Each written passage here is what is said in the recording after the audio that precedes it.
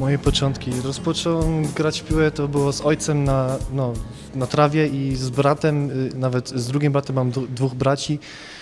Y, I tak się zaczęło. Potem był Dzień Talentów w Bielefeldzie i tam bliźniaki, ja i y, starszy brat daliśmy radę wejść akurat w tym pierwszym dniu do drużyny i tak się zaczęło. I od tego momentu, jak zacząłem grać piłę, to wtedy naprawdę była strasznie zabawa piłką grać. e, Ogólnie były też sukcesy i dlatego tak się zaczęło i po prostu piłka, em, doszłem do piłki, bo ojciec był też piłkarzem i od tego momentu patrzymy się na ojca i na piłkę nożną i bardzo mi się podoba ta gra w piłę.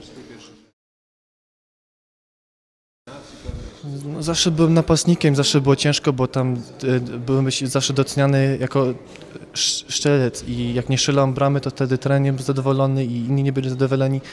Ale takie straszne momenty, co miałem, to były zawsze te kontuzje i, najważniejsze w tym jest, że jak się ma kontuzję, to trzeba ją, no, jak się mówi, tr- trzeba przerwać i ją wyzdrowić, tą kontuzję, bo wtedy jak się wcześniej zacznie, to wtedy może być jeszcze gorzej i to były takie najtrudniejsze momenty, ale tak to miałem dużo sukcesów.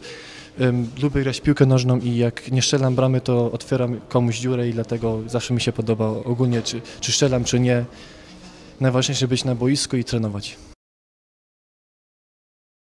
Nie, ja tylko nie patrzę na treningi nieraz, bo ja trenuję i nieraz jest czas zobaczyć, jak były te czasy, jak ja grałem jako młody i no i fajnie tak obejrzeć sobie te mecze, wtedy tam nie było takiego stresa, nie było ym, takiego poczucia, że musisz y, osiągnąć to, mu- musisz to zrobić, tylko tam były czasy, gdzie miałeś naprawdę tylko zabawę i to jest najważniejsze, jak się jest młody, to trzeba mieć tylko zabawę, nie myśleć o niczym, tylko grać w piłę i no i grać.